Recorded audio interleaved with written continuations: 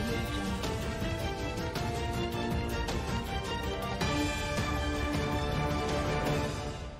नमस्कार, आप देख रहे हैं yes TV. Bahujan Samaj party की हरियाणा में एक के साथ एक, तीन पार्टियों के साथ गठबंधन टूटने पर हरियाणा विधानसभा अध्यक्ष ने चुटकी ली। स्पीकर ने कहा कि बीएसपी का आईएनएलडी, लोकतंत्र सुरक्षा पार्टी और जेजेपी के साथ स्वार्थ के आधार पर समझौते हुए थे। मगर जब कोई भविष्य नज़र नहीं आया तो तीनों गठबंधन चकनाचूर हो गए। स्पीकर ने व्यंग करते हुए कहा कि अब बीएसपी के पास हरियाणा में गठबंधन के लिए केवल कांग्रेस पार्टी ही बची है। ये पहले ही फाइनल था।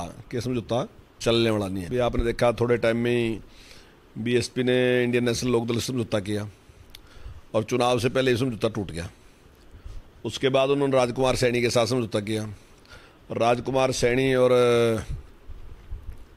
बीएसपी ने मिलकर समझौता चुनाव लड़ा और रिज़ल्ट आपके सामने, जो रिज़ल्ट आपके सामने आया तो कुछ दिन के बाद वो समझौता भी टूट गया।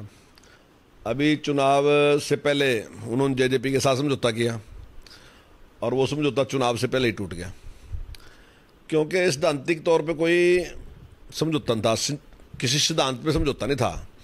केवल स्वार्थों पे आधारित समझौता था।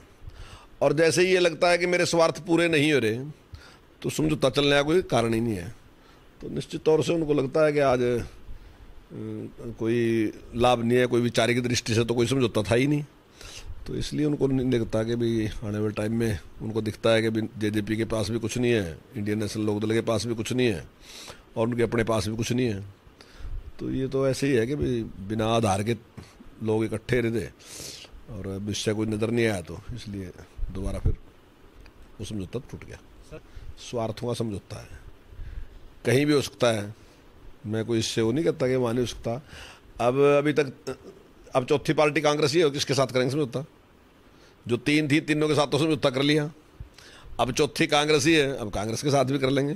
लेकिन किसी के साथ भी समझौता कर लो। देखिए, जब जनता के दिमाग में एक बात है कि जनता के मन में एक बात है कि कि ये जो लोग हैं, इनका समझौता केवल और केवल इन्हीं के स्वार्थों के लिए है। ये अपने स्वार्थों के लिए समझौता कर रहे, हमें इस्तेमाल कर रहे।